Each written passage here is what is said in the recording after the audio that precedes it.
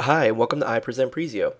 In this tutorial, I'm going to show you how you can take a set of PowerPoint slides and combine them with a video clip to create a video that uses a picture-in-picture type effect, uh, just like we have right here. So you can see we've got a little thumbnail video here, which is a separate video clip. And in the background here, the main video area is basically just a set of PowerPoint slides. And you'll also notice that the slides are in sync with the picture-in-picture video. Now to create this effect, it's very easy, and we're going to do that using Presio. So let's get started. So we will open up a new project, and we'll just call this picture-in-picture demo. So we're going to want to create a synchronized media with slides project. So we'll go ahead and start that.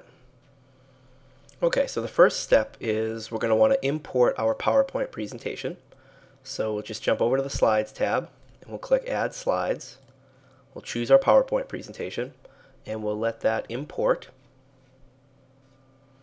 Okay, so we've got our slides imported into Presio. Now we're going to hop over to the Media tab, and this is where we're going to add a the picture-in-picture clip. So this is the clip that will be embedded within the main video window, and you can pretty much import almost any kind of video file you have. So in this case, I've got a Windows Media video file. So we will import that. We'll let that run. Okay, and once we've got our video clip imported and we've got our slides imported, we can now hop over to the Sync tab. And the Sync tab is where we will synchronize the slides with the video clip that we just imported.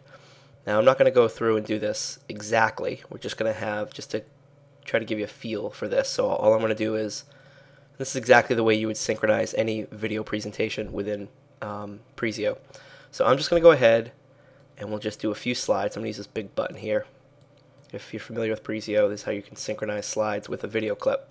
So it's the same, same here. So we're just going to kind of scrub through the video. And you can see every time I synchronize a slide, it's just adding it right here. And we'll do one more slide. Okay. So now that that's done, we've synchronized our picture-in-picture -picture clip with our slides.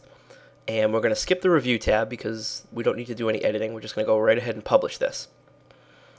Now, in to create this picture-in-picture -picture effect, you typically need to use video editing software, and you need to usually find some of the advanced features and filters that exist within some of these tools. But within Presio, it's pretty simple. You just choose what format you want to publish your final video to.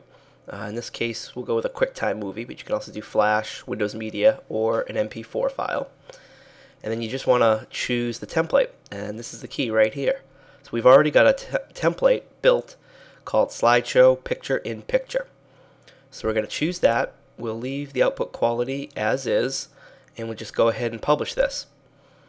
Now, publishing a picture-in-picture template, uh, it's going to take a little bit of time. Uh, rendering the two videos together uh, does take a little bit of time. So we're just going to let this run and then we'll come back and we'll take a look at what we've got for our final output.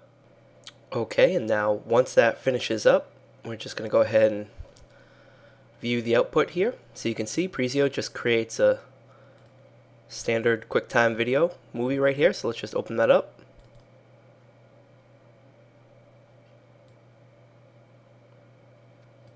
Let's play that back.